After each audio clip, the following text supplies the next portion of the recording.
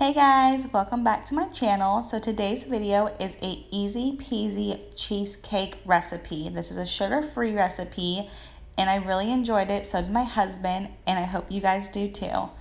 Let's get started. You will need three tablespoons of sugar substitute, three cups of plain non-fat Greek yogurt, one package of Jello cheesecake, flavored, some lemon juice, some eggs, a spatula to clean, uh, mix everything with, and a bowl. You want to go ahead and start off with doing cracking three eggs into a bowl.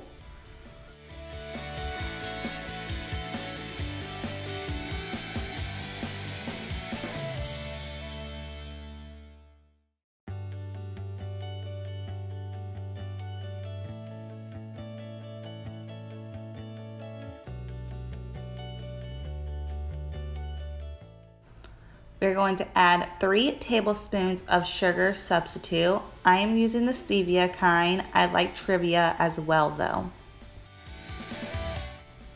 Then you're going to add your lemon juice.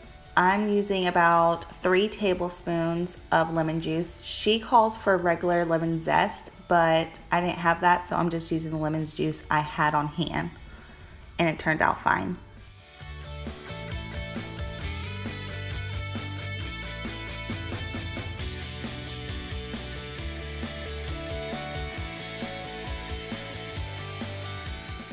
Now go ahead and mix the eggs, sugar, and lemon juice all together until it's well blended.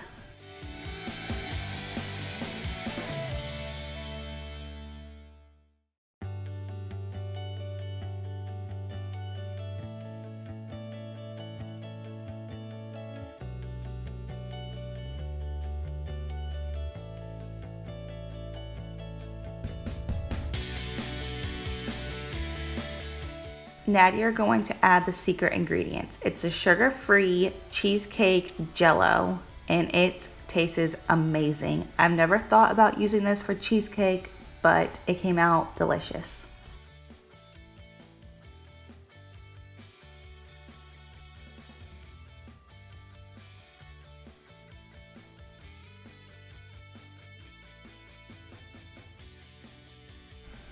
You also want to go ahead and add three cups of plain non-fat Greek yogurt. I'm using the Fage Total 2% milk.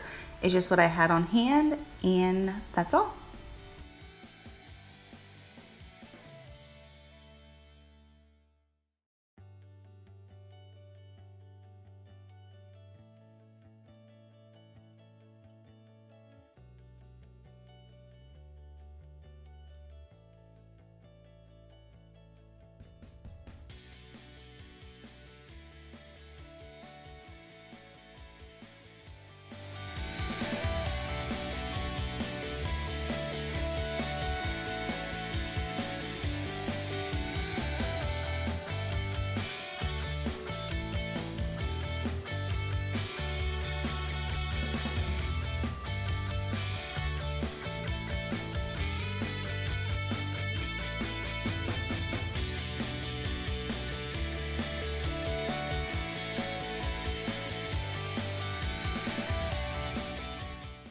Now you want to go ahead and mix everything. You can use a hand blender, you can just do it by hand. I'm choosing to use my KitchenAid and I put the whisk um, thing on there, handle, because I don't want it to be mixed too well. I just want it to be like more fluffy. So I went ahead and put this on low, bumped it up to around two and three, and then finished it off with me stirring it to make sure everything was nice and blended.